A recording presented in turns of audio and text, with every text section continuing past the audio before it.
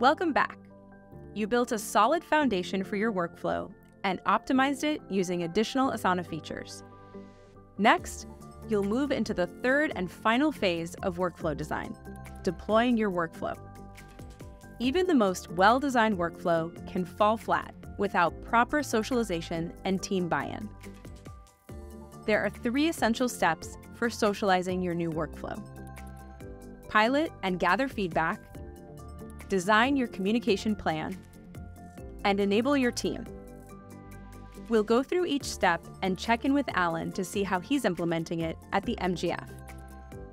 First, pilot your workflow with a small group and gather feedback to identify any gaps or wrinkles before you roll it out to the whole team. You can even use an Asana form to capture feedback. Amy, from our events staffing team, and Craig, the Phoenix League manager, are going to be my pilot testers. It turns out they want to see where the events are happening. No problem. I can add a custom field to the form faster than you can say workflow optimization. I'm so proud.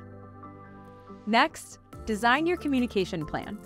Set a go live date for the new workflow and start building awareness around the change. This is a great time to reflect back on why your team is using Asana in the first place, focusing on how it's going to make your teammates' lives easier. I'm planning to launch the new workflow at the end of next month. Between now and then, I'll announce it at our all hands meeting and send a follow up email. I'll also have my pilot testers share a video message in our team channel telling people how the new process is going to help us host more great events across all of our leagues.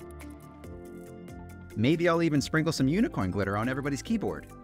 Sure, Alan. Just be sure to check your office's official glitter policy.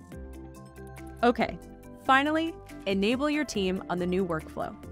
If they're new to Asana, make sure they get some basic training first. Then, walk everyone through the new process and any specific expectations so they understand how you'll collaborate together. Everyone is pretty new to Asana. I'll send them a few tutorial videos and some training to get started. Then, I'll walk the team through the Asana journey of a real event request. I'm encouraging everyone to use Asana comments for all workflow related communication. No more playing email detective to find that one crucial message from three weeks ago. Sounds like a plan to me. I think they're going to love it.